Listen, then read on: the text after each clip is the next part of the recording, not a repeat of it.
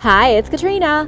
From extinct species that may actually still be around, to a bird who rejected his own kind to live among a family of statues, here are 10 of the loneliest animals in the world.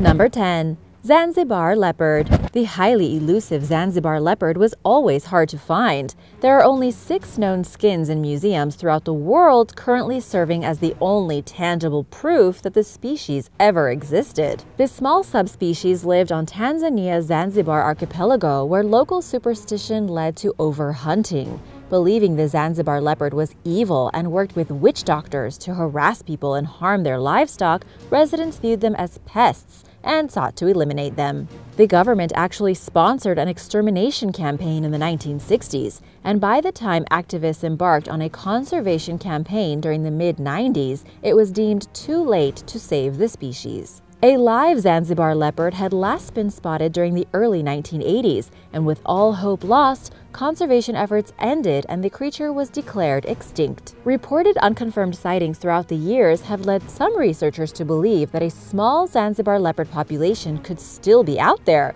remaining well hidden from human view. In 2018, wildlife biologist and tracker Forrest Galante captured footage of what appeared to be a live Zanzibar leopard using a trail camera. The shocking video was featured on Extinct or Alive, the Animal Planet series Galante hosts. After reviewing nearly two weeks worth of footage and spotting nothing, the disappointed team was about to erase the video when a wildcat briefly stepped into the frame. If they are still around regardless, these cats would be quite solitary seeing that there are so few of them. There is a chance that the creature was a different species, especially considering widespread rumors that witch doctors imported other leopards from mainland Africa to carry on their work after the Zanzibar leopard disappeared. But based on its markings and size, Galante believes it could be the real deal. Without genetic evidence, there is no way to prove if the species still exists. Local park rangers and Galante's team are working together to secure DNA samples from the area in hopes of confirming that the cat lives on.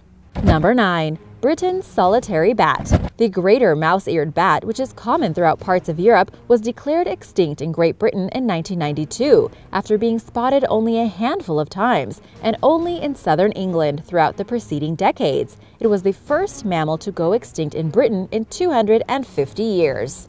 Or did it? In 2002, a male greater mouse-eared bat appeared in a damp and disused rail tunnel in West Sussex, providing renewed hope that the species was making a comeback. He's returned every winter since, always alone. Nobody has ever seen the bat in flight. For five months, he hangs in the tunnel before disappearing to a mystery destination for the rest of the year. His survival depends on humans observing him from a distance, as disturbing bats during hibernation can be fatal. Greater mouse-eared bats can live for up to 35 years and are one of the largest European bat species, weighing up to 45 grams and with a wingspan measuring as much as 40 centimeters.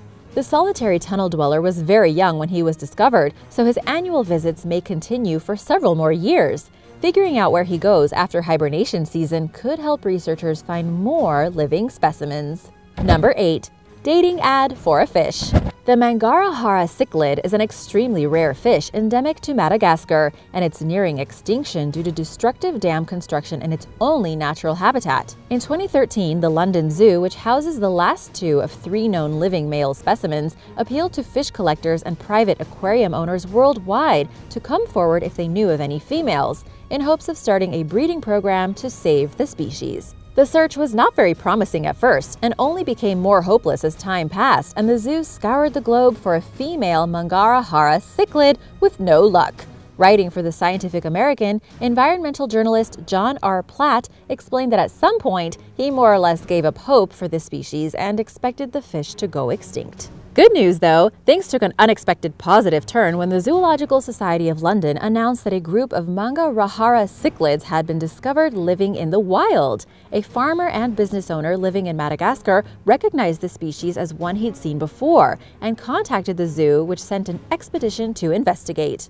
The team struggled to find specimens and once again started losing hope until local villagers helped them locate some. They eventually found 18 of them and the fish were relocated to a private facility where they will hopefully breed and bring back the species. and the poor males in the zoo won't be so lonely. Number 7. Lonesome George.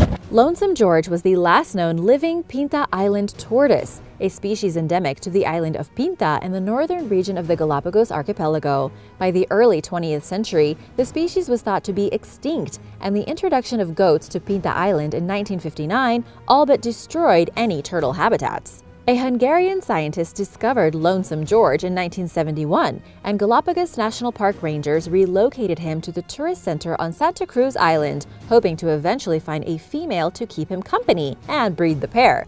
To this day, no other Pinta Island tortoises have been discovered. Lonesome George passed away in 2012 at over 100 years old. A conservation mission called Project Isabela launched in 1997 aimed to restore the natural habitats on Pinta Island, Santiago, and northern Isabela through the removal of large, invasive mammals with the goal of eventually reintroducing tortoise populations. Pinta was declared goat-free in 2003, and the future of highly threatened Galapagos giant tortoises is becoming more hopeful as scientists scramble to prevent them from suffering the same fate as Lonesome George's species. And now for number 6, but first I want to give a big welcome to Iqbal Hossein who is a new subscriber, and shout out to Janelle Monteserin. If you are new here, be sure to subscribe and join us.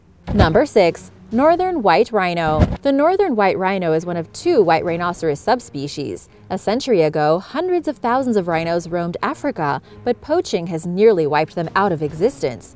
The northern white rhino is completely extinct in the wild, and there are just two surviving individuals in captivity, both female. The last remaining male white northern rhino named Sudan passed away in 2018 at the Ol Pejeta Conservancy in Kenya at age 45. He is survived by his daughter Najin and his granddaughter Fatu. Attempts at mating Najin and Fatu with members of the southern white rhino subspecies failed, leaving in vitro fertilization as the last realistic fighting chance for the species' survival. Both females are incapable of carrying offspring, so scientists plan to fertilize their eggs with stored sperm from male specimens and implant the embryo in a southern white rhino or a horse who will act as a surrogate. This process could cost as much as $10 million, and there's no guarantee of success. But if a successful pregnancy results, it will constitute the first ever revival of a functionally extinct species. Number 5. No Mate Nigel During the 1990s, conservationists placed 80 concrete gannets on New Zealand's Mana Island, located 16 miles northwest of Wellington,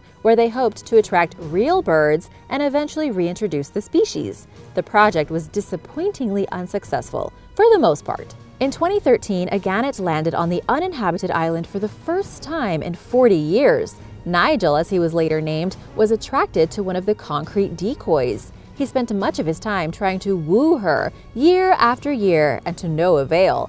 He constructed a nest and spent hours grooming his stone mate, and even passed away next to her. Three weeks before Nigel's death, three gannets arrived at Mana Island, but Nigel did not befriend them his attention remained focused on his inanimate lover. So sad, right? Chris Bell, a ranger for the New Zealand Department of Conservation and the only full-time employee on Mana Island, discovered Nigel's lifeless body. Nigel was very faithful to the colony, Bell told The Guardian, referring to the bird's concrete crew. I think we all have a lot of empathy for him because he had this fairly hopeless situation. But Nigel's time spent alone on the island wasn't in vain. People championing for the return of a gannet colony on Mana Island credit Nigel with attracting the three new birds, who arrived to the island shortly before his life ended.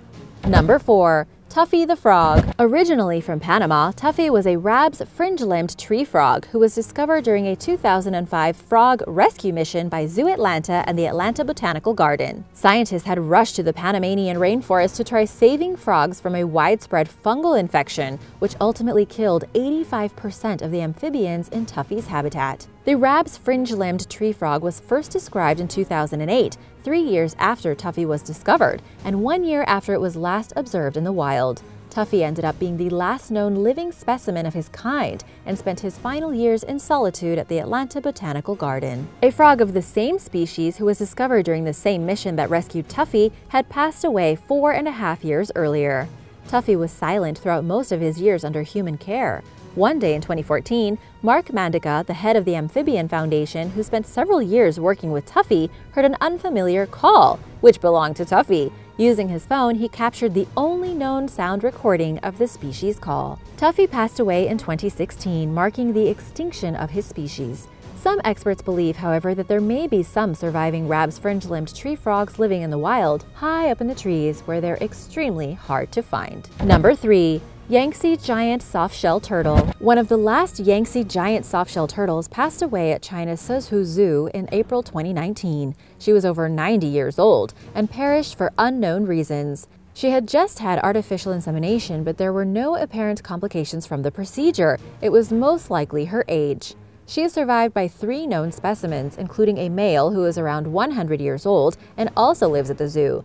He is all alone now. The other two surviving members of this species, whose genders are unknown, live in separate ponds in Vietnam. With just three Yangtze giant softshell turtles left, it's hard to believe that this creature once thrived in freshwater habitats throughout China and Vietnam, but hunting, overfishing, and habitat loss have nearly wiped the species out. Scientists have not given up hope on saving the creature. There's a chance that there are more undiscovered specimens living in the wild, and they hope to find and capture a female and place her into a semi-wild captive environment with a male, where the two will hopefully reproduce. Just one healthy breeding pair of Yangtze giant softshell turtles could save the species. But time is of the essence, and researchers are trying to act before it's too late. Number 2. The world's loneliest whale. In 1989, U.S. Navy hydrophones captured strange signals in the form of a whale call that seemed characteristic of a blue whale, but was broadcast at an unusually high frequency of 52 hertz. To human ears, this sounds like a low bass note, Blue whales typically sing between 10 and 40 hertz, while fin whales vocalize at 20 hertz, leaving researchers stumped as to what kind of creature was responsible for the unusual call. If it was from a whale, maybe it was an endangered kind, or a completely newly discovered animal. Marine mammal researcher Bill Watkins from the Woods Hole Oceanographic Institution spent years studying the sound. Watkins and his colleagues connected the call to a single source, leading the media to dub the creature behind it the loneliest whale in the world. While experts were perplexed about the creature's oddly high-pitched singing voice, they also theorized that he or she was doing okay. The fact that this individual has been capable of existing in that harsh environment for at least these 12 years indicates there's nothing wrong with it. Kate Stafford, a researcher at the National Marine Mammal Laboratory in Seattle, explained to the New York Times. At the same time, the solitary whale's unanswered call indicates that the creature is indeed unique. Hopefully, its sound is just different and it's not lonely. Number 1. Spix's Macaw. The 2011 animated film Rio drew attention to the Spix's macaw, a beautiful blue bird that disappeared from the wild in 2000. Wildlife trafficking and deforestation are to blame for driving the medium-sized avian species to near extinction, with less than 100 known surviving specimens all living in captivity. Fearing the ill effects of inbreeding, one of the last wild-born Spix's macaws, named Presley, was introduced to a captive breeding population in hopes of bringing some genetic diversity to future generations, which would increase the species' chances of survival. But Presley failed to produce offspring before passing away in 2014, at around 40 years old. Scientists and conservationists refuse to give up on the Spix's macaw. Earlier this year, 52 of the birds were transported to the species' native Brazil as part of a plan to reintroduce a wild population. The birds who were bred in captivity are currently at a transitional care center, where they will hopefully learn how to survive in the wild. They will likely be released sometime next year. Thanks for watching! Did you know about any of these? Which one was your favorite? Let me know in the comments below and be sure to subscribe and hit that notification bell if you're new here. See you next time! Bye!